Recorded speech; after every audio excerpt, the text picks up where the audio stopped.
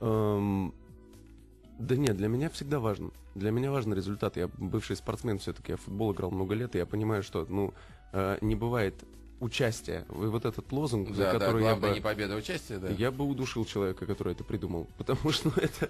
Ну, это Зачем ты душишь слабого человека? Даже слабый придумал наверняка.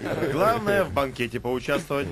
Это олимпийский Мишка придумал. А ра- ради чего тогда, действительно? То есть э, ты такой цели... Ну тогда скажи, как ты переживал. Если Я тебе важна победа, вот 16 место, это же такой... э, Ну, я был убит в этот вечер. Я, я как, ну, естественно, я как мог держался, были камеры, нужно было как-то говорить хорошо о том, что вот впереди. Плюс приехал еще Red One, который, ну, мой продюсер, приехал на финал меня поддерживать.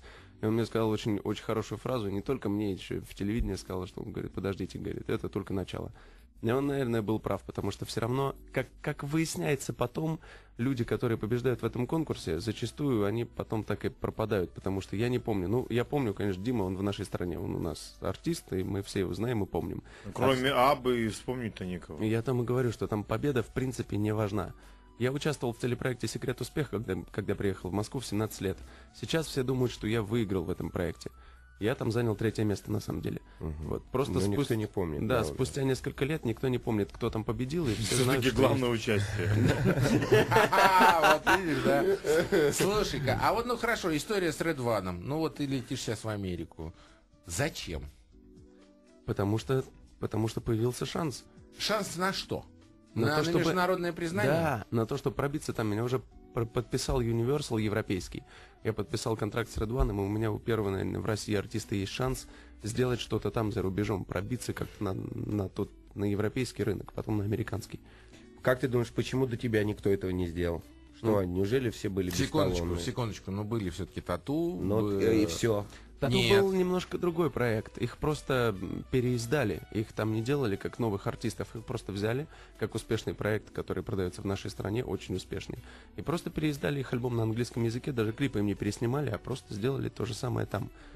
Везде по всему миру. И это выстрелило. да. Тату, ребята, но больше никого не вспомним, таких, которые на, на, на весь мир-то. Ну, тату единственный, кто, кто Щас я пытаюсь, ну. Нет, Альди Миола и э, Леонид Агутин.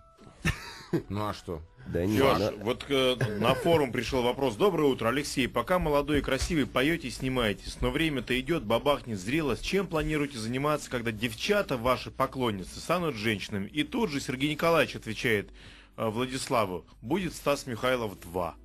Так ли это? Ну, Песни потяжеловеснее, там уже коньячок, э, руки твои целую, женщина моя и так далее. Душа, колени. Ду- душа, колени. Ну, мы накидаем эти 15 слов потом. ну, до этого дожить надо, конечно, сначала, потому что, ну, время такое, вдруг конец света в следующем году, а я буду задумываться, что мне потом делать. А вот, кстати, хороший вопрос. Алексей Воробьев э, соберет э, Кремлевский зал? А, ну, я вообще ставлю цели повыше, если честно. Ну вот сейчас, завтра, если концерт. Завтра, если концерт, ну, если билеты бесплатно раздавать, да. А у Стаса Михайлова другая цена за билеты. Стас. Михайлов абсолютная звезда в нашей стране, он собирает огромные залы по всей России. Так Я может быть на где бы Михайлова позвать? Он Я э, всё б- время- благословит зал, всю Европу, и все нормально будет. Я уверен, что нужно сделать это в следующем году. Уверен, что это результат будет, будет точно не хуже. Но, по крайней мере, надеюсь, лучше, чем у Пугачевой. Она, она заняла 15 место на Евровидении. Ну вот. Киркоров 17 Я занял 16 Я в 16-е. отличной Молодец, компании там да. нашелся. Да. как все-таки, Леша, вот если коротко, почему нет у наших успеха за рубежом? Вот э, коротко. Ну, потому что, проще говоря, конечно, не нужны наши артисты за рубежом никогда. Ну ты же это понимаешь и все равно лезешь туда. А потому что у меня есть шанс хоть какой-то, а здесь у меня все равно, ну, так- что, ну ну, все же так думают, что есть шанс. Ну все же, но как- все так Но думают, что есть сборная шанс. России-то лезет на чемпионат мира. У нее же есть шанс. Вот понимаешь, что нет шансов, но все равно Лезет, лезет. царапает коленки, бьется носом. Я, я, я считаю так просто, что когда ты ставишь какие-то большие невозможные цели, у тебя есть шанс хоть куда-то повыше пробиться. Не, а если думать о том, что ну вот здесь, ну Молодец. хоть в нашей Всё стране. Отлично. Мы прерываемся на песню новости и встретимся минут через 10.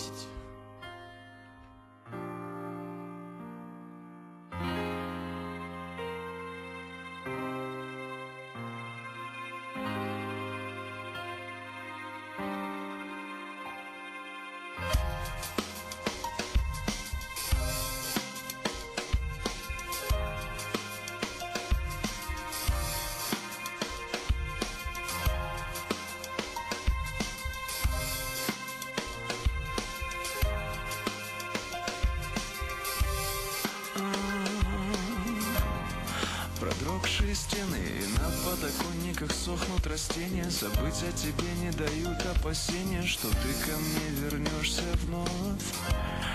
Я с этой напастью стою и крошу всю посуду на счастье. И все, что останется, все в твоей власти. Моя любовь и моя боль. С этой минуты забыть о тебе не получится Так лучше не мучиться Больше ни ночи, ни дня Как с веревкой на шее без тебя. Открытые двери в закрытое сердце Все слишком красиво в нашей песне. Финальная улыбка меня взбесит Твое молчание. Бутылки, стаканы Зализываю раны. Сегодня я снова буду пьяный Как будто бы все по барабану ты со мною рядом. Звонки и сообщения Здесь все говорит о моем поражении. Я должен себя тормознуть Но отчаяние меня заводит вновь я мог бы смириться, я гордостью мог бы своей поступиться С улыбкой натянутой комедией в лицах. Сквозь слезы я бы разыграл. С этой минуты забыть о тебе не получится Так лучше не мучиться больше ни ночи, ни дня Как с веревкой на шее без тебя. Открытые двери в закрытое сердце Все слишком красиво в нашей пьесе. Финальная улыбка меня взбесит Твое молчание Бутылки, стаканы, зализываю раны. Сегодня я снова буду пьяный Как будто бы все по барабану Как будто бы ты со мною рядом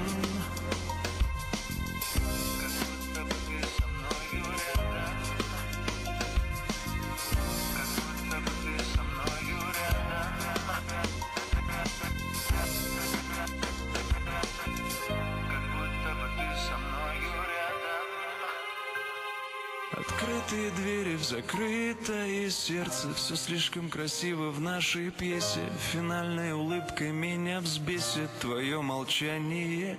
Бутылки, стаканы, зализываю раны. Сегодня я снова буду пьяный Как будто бы все по барабану. Как будто бы ты со мною Открытые двери в закрытое сердце Все слишком красиво в нашей пьесе.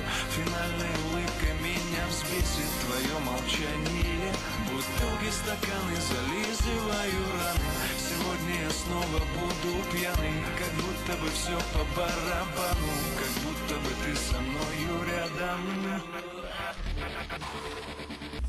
Ранета Это продолжает свой эфир. Вот это Лех. Да, это, это я Воробьева зову. У нас сегодня в гостях э, актер и певец Алексей Воробьев. Да. Мы, мы продолжаем. Леша, значит, читаю твою биографию на сайте Best People of Russia. Ничего себе. Знаешь такую? А что я там делаю? Ты там, ты, ты Best People. Там какая-то отдельная У номинация. тебя даже тут рейтинг какой-то есть. Ну и что? Ничего хорошего. На шестнадцатом месте я там Не-не-не-не. посмотри, пожалуйста, в А тут, рейтинге. э, тут так вот он не... Неважно. Я потом... А, есть! Рейтинг 2822, всего голосов 1778. Дней в рейтинге 630, ком- 10 комментариев. Ну вот я не знаю, как интерпретировать эти цифры. Меня другое заинтересовало. Значит, во-первых, человек, который писал эту биографию, ты с ним наверняка не знаком. Но факты, факты встречаются. Смотри. В декабре 2007 года в Нью-Йорке на встрече Всемирного молодежного совета ООН Алексей Воробьев был выбран послом доброй воли, Да. что только положительно отражается на биографию Алексея Воробьева. Что такое быть послом доброй воли? Какие функции должен выполнять посол доброй воли? И Я посол доброй это? воли по борьбе со СПИДом. Вот. У меня отдельная номинация. То есть я не то, что я... Значит номинация? Ну, я имею в виду, у меня отдельное дело, которым я занимаюсь. Вот, это не- есть просто такие там посол доброй воли, как там, например, Анджелина Жоли. Она вообще посол доброй воли всего, да, сразу. И она, у меня в нашей стране я посол доброй воли по борьбе со СПИДом. Меня выбрали после, ну, года такой усиленной работы, потому что сначала мне просто предложили работу в этой области, встречаться с молодежью, работать с детьми, вот. Ну, и просто проводить встречи, благотворительные концерты, мероприятия подобного образа. И спустя год меня наградили, и я теперь в этой номинации так и Наградили остаюсь. чем? А, мне вручили такую э, штуку прямо в центральном офисе ООН, ну, такой а- аворд, как, как это назвать, ну, статуэтку. И Ага. И, ну, Айворд. и сверху такой стеклянный шар, как, ну, как земной шар, но он стеклянный такой. И ты до сих пор являешься послом доброй воли. Ну да, но это оно не, не, не отбирается никогда, это звание. Но ты должен что-то пожизненно делать, или ты просто посол и Просто спишь? нет, я нет, я участвую в программах, я уже работаю с, ком- с компаниями там Dance for Life в нашей стране, много с YPR, мы с ними все время работаем, контактируем, если есть какие-то мероприятия, да, в которых я могу поучаствовать, то они всегда меня зовут. Даже, даже просто в школу иногда ездим с Dance for Life. Раз приезжаем в школу, пляшем, танцуем, потом там организуется такое дело, ну, чтобы дети не в подъездах ходили, озирались, а потом они после школы могут приходить, танцевать, то есть специальные ребята, хореографы приходят, с ними танцуют, они общаются на темы более взрослые, чему-то учат детей и А при чем здесь спид? к тому, что нужно знать, как с ним бороться, и- точнее не с ним, а как сделать так, чтобы им не, не заразиться. Ну вот а, давайте, вот это интересно. я что- просто нет, я хочу объяснить, что обычно все вот э, все подобные программы их э, распространяют и занимаются ими взрослые люди. И когда они общаются с молодежью, выходит, да, дядька такой, которому уже за 40, там, за 50, и говорит, дети, надо, значит, э, использовать вот эти вот штуки, вот эти презервативы. Он говорит, надо их использовать. Ну и дети сидят, думают, ну понятно, чего, ну чего он нам рассказывает, он даже не знает, как, как вообще это использовать по жизни-то. А когда нормально я выхожу, ну мы с ними практически одного возраста, они уже, естественно, помладше, мне сейчас 23, но мы все равно общаемся абсолютно на своем языке. И Я им рассказываю какие-то веселые истории свои, там, жизненные перипетии, им, им весело всегда. Тебе слушают. 23? Да. 23. А я, значит, удивился. уже мужик за 40. Да, ты вот тот самый, который самый, да. не знает уже, как пользоваться вот этой штукой. Леш, ну у меня знаешь, какой вопрос? Ну, ты, в принципе, ответил, что у тебя 23, и у меня вопрос, по идее, должен был пропасть.